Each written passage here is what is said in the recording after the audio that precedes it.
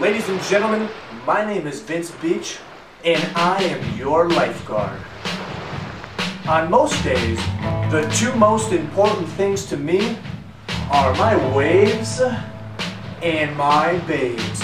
But this Friday night, February 22nd in Whitehall, New York, the only thing that's going to be important to me is outlasting 19 other competitors to win the Rumble Royale match and be named the undisputed number one contender for the World of Hurt Wrestling Championship.